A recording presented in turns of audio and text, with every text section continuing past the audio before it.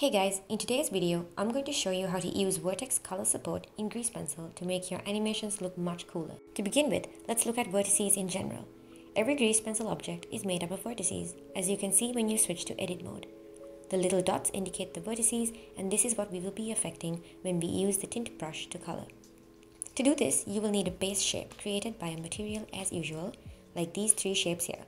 One is a simple stroke, the second is a closed shape drawn with a fill brush, and the third here is a shape with the stroke that has been filled with the fill tool.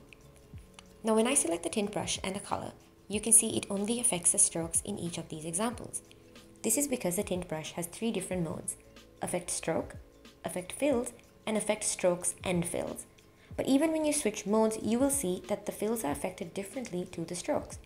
Where the strokes get a gradual, more controlled surface area colored, the fill shapes switch entirely to a new color. So doing it this way will not allow smooth shading, gradients or any cool effects. This leaves us with one workable option, color everything with a stroke base. So I have this sketch here of a face and I'm going to be using this as an example animation to explain the rest of what vertex colors can do. So let's start by coloring it in with strokes and a material color. You will always need a base like this for the tint function to work over.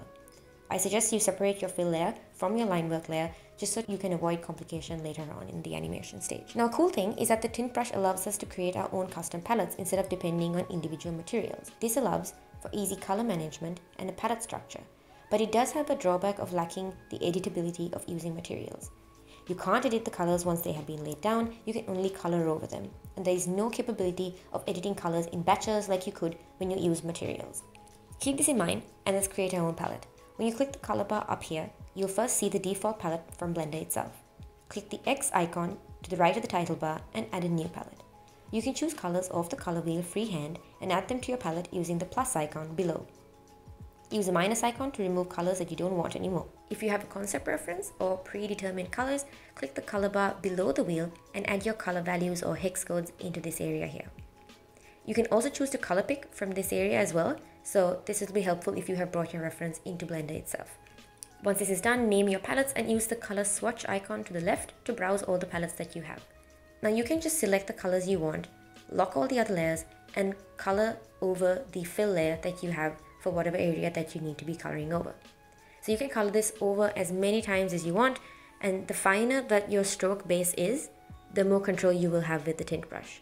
Sometimes a tint brush will create some sharp artifacts and it won't really draw precise lines, so feel free to switch between using materials and the solid brushes to draw in any tiny details. Now if you did separate your line art and fills into two separate layers, go ahead lock your fill layer, move on to your line art layer and use the tint brush over the strokes to change the colors of the line art itself. You can also keyframe the gradients that you make to animate them like I've done here with the hair. But you have to remember that coloring with the tint function on a new frame will not automatically create a keyframe, so you will have to duplicate keyframes to manually create an animation. Whereas before, usually when you're using the solid brush, if you draw on a new frame and you have the auto keyframe selection on, it will create a new frame for you. It won't work like that with the tint function and you will just end up drawing over your previous frame and ruining all the work and progress that you made if you're not being careful. So I hope that this inspires you to try it out and I'd love to see what you guys come up with. Here's the final animation that I got done. The files for this animation are available to download for free. Just click the link in the description if you want to mess around with it. Also consider joining our Discord family if you want to hang out with our team here at Motion Miracles and other creatives just like you. Like and subscribe for more and we'll see you guys in the next video. Thanks for watching!